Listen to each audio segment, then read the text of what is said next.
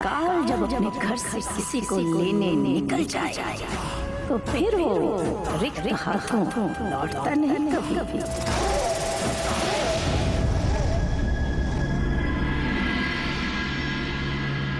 नामकरण समारोह में मैं सबके सामने इसे मृत्यु दूँगा। स्वयं स्वयं अमर हो जाऊँगा। अमर अमर जी जी आप बिल्कुल भी चिंतित मत होइए। हम बड़े हर्ष और उल्लास के साथ हमारे राजकुमार का नामकरण समारोह मनाएँगे।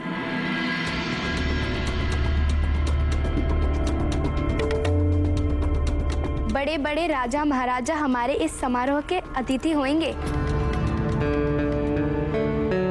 हमें तो बहुत सारी तैयारियाँ करनी है अभी। नहीं कोई समारोह नहीं मनाया समारोह नहीं मनाया जाएगा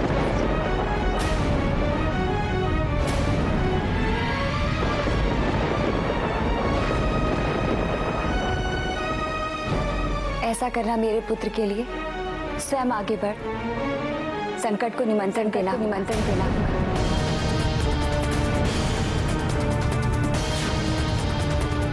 समारोह में सैकड़ों अतिथि आएँगे। मेरे बालक को देखेंगे। उसके पास जाएँगे। और ये मैं नहीं जानती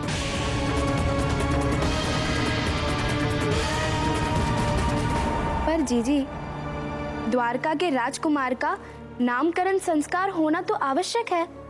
ऐसे अवसर पर ही तो आसपास के राजा महाराजाओं को बुलाकर संबंध बढ़ाए जाते हैं। और ये तो शगुन का काम है। समारोह तो होना ही चाहिए, जीजी।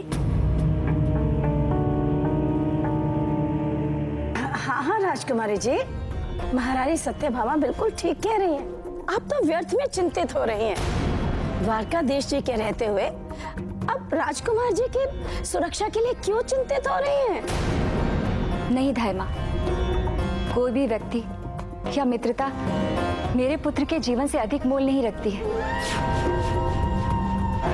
मैं समारोह में आने वाले अतिथियों से डरती हूँ कौन जाने संकट, कौन सा रूप धर कर आ जाए धाइमा रुक्मणी सही कह रही है। वो एक माँ है। और माँ की आशंका कभी अनुचित नहीं होती। नहीं नहीं, द्वारकाधीश जी। नहीं नहीं। मैं मैं राजकुमारी जी को समझा दूँगी। मैंने कहा ना उनकी चिंता और उनका भय एकदम व्यर्थ है। हम सब के प्यारे नन्हे राजकुमार का नामकरण संस्कार वो तो विधि और विधान से होना ही चाहिए ना। नहीं धाइमा यदि राजकुमारी कह रही तो उनकी बात का सम्मान करना होगा हम। स्वामी आप जानते हैं ना बालक की छठी भी है। हाँ सत्य भाम। और नामकरण भी होना है। किंतु उसमें अतिथियों को नहीं बुलाया जाएगा।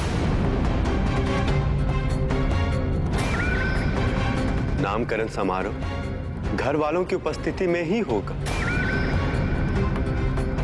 ठीक है स्वामी। किसी को भी न्योता नहीं दिया जाएगा।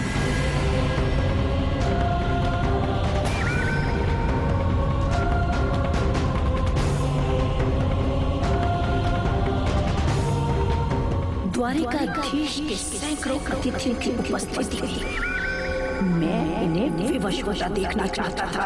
विवश। पर तो लगता है मेरी ये इच्छा तो पूरी नहीं हो पाएगी परंतु इस बालक का अंत तो निश्चित है निश्चित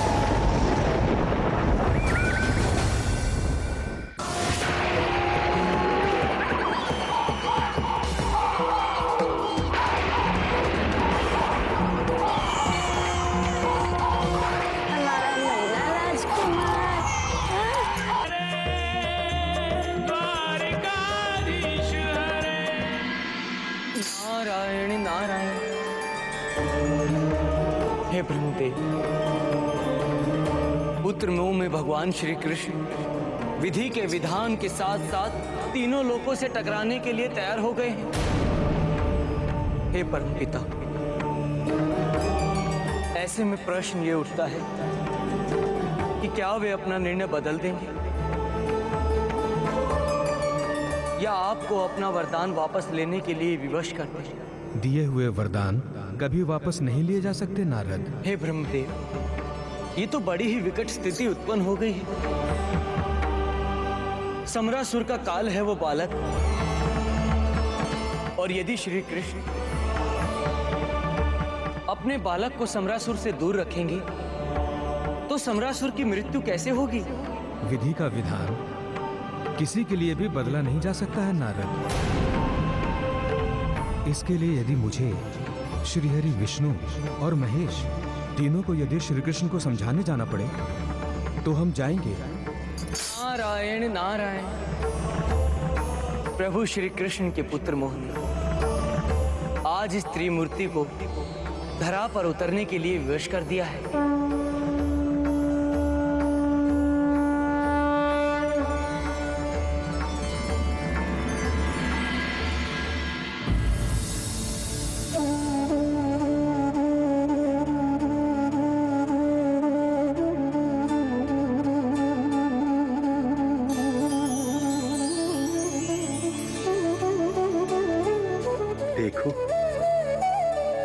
कैसी चांदनी फैली।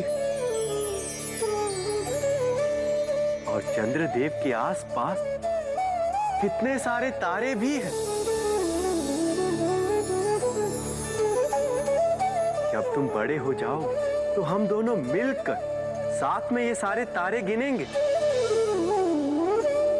अच्छा पहले कभी तारे गिने हैं आपने?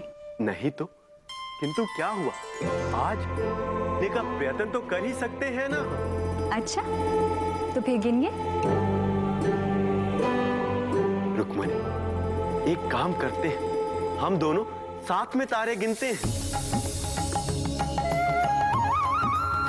एक दो तीन चार। प्रभु वो तीन तारे उन्हें तो आप गिनना भूल ही गए। मुझे सबसे ज़्यादा चमक रहे हैं। उन्हें तो गिनिए।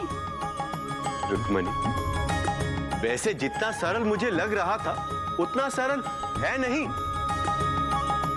किंतु गिनने में आनंद बहुत आ रहा है।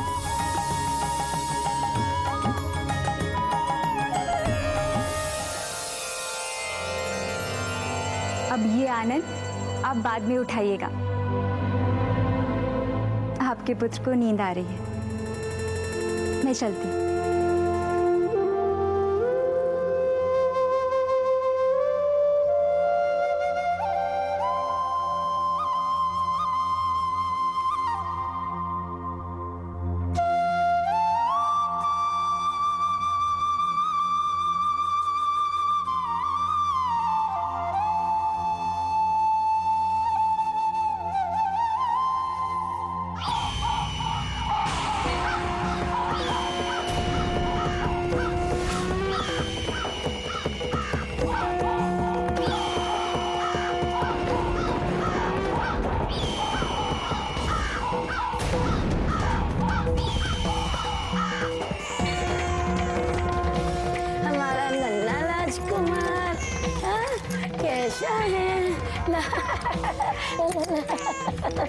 लो राजकुमारी जी, नन्हे राजकुमार को मुझे दीजिए।